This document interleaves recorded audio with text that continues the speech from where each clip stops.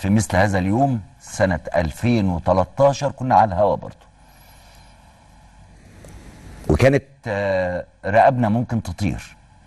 وكانت فدا البلد دي. كنت كانت صورنا متعلقة في الشوارع في كل مكان. وصورنا قدام المدينة دي على الأرض وبيتداس عليها بالجزم. وما كناش خايفين وكنا حاسين إن إحنا بنعمل حاجة للبلد دي. وكنا حاسين إن إحنا بنلعب دور لإنقاذ البلد من إيدين مدنسة كانت عايزة تخطف هوية هذا البلد الجميل. بس ما حسيتش بالصعوبة زي الأيام دي. أجمل شيء إنك تكون جزء من الشعب وبتعبر عنه.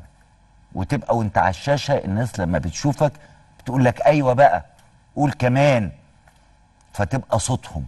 ولما يبقى الصوت جماعي مفيش نشاز تقول الحمد لله.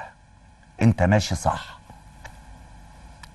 كل سنة وأنتم طيبين في ذكرى 3 يوليو ذكرى سقوط الإخوان. طب ليه الثلاث أيام دي صعبة؟ لأن أسوأ حاجة ممكن يواجهها مريض كلمة اللي تضايق جدا استحمل يبقى بيتألم هو. أنا مش عايزك تقول لي استحمل. ما أنا مستحمل. هو أنت يعني لما قلت لي استحمل خلاص أنا كده استحملت. دي نصيحتك ليا؟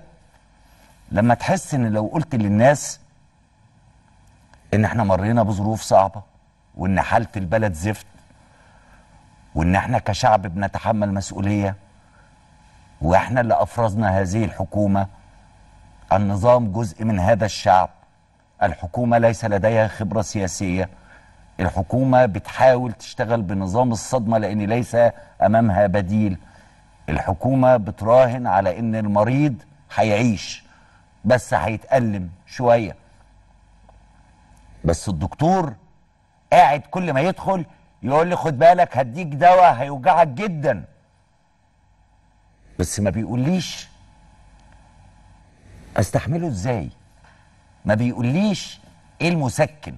حتى لما بيعمل لي دعم بيقول لي ده الدعم ده أنا هطلعه من عينك.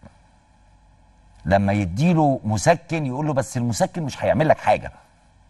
وياخد المسكن ويفضل الالم موجود. فتيجي أنت تقول له إيه؟ وأنت طالع على الهوا.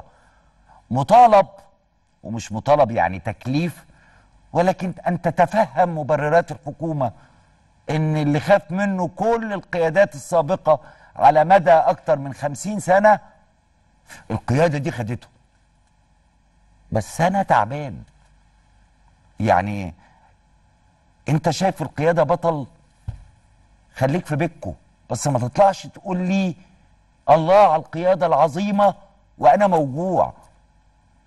ما القيادة بتقول أعمل إيه؟ بس كمان الحكومة ما بتقولناش نعمل إيه نعيش إزاي نستحمل إزاي. ما بتقوليش أنت قدامك صحيح لسه مطلعين بيان من شوية مركز آه، المعلومات ودعم اتخاذ القرار في في مجلس الوزراء مطلع بيان من شوية بيقول نعترف إن شعبية الحكومة نزلت. برافو عليك. على العموم الاعتراف ده شيء كويس. وإن القرارات صعبة وإن حزمة الإجراءات الداعمة ليست كافية للفقراء وإن الفقراء بيعانوا وإن إحنا هنستمر كده ثلاث سنين. طب ماشي. بعد الثلاث سنين إيه اللي هيحصل؟ هنبقى إيه يعني؟ يعني أنت قلت لي إن أنا هقلل أنت عندك عجز موازنة 75 مليار فقلت لي هقلل بالقرارات ده 40 مليار وما قلتليش هتجيب ال 35 مليار دول منين؟ أنا جاي لي منح ولا هتعمل عليا قرارات جديدة؟ طيب أنت وأنت بتاخد القرارات كنت عارف هتدعمني إزاي ولا لأ؟ كنت عارف هتنقذني إزاي ولا لأ؟ وأنا قاعد أتفرج مع زمايلي الفيديوهات بتاع الناس مؤلمة مش قادر ازعها مش قادر ازعها لأن كلنا حاسين بالوجع. غني وفقير.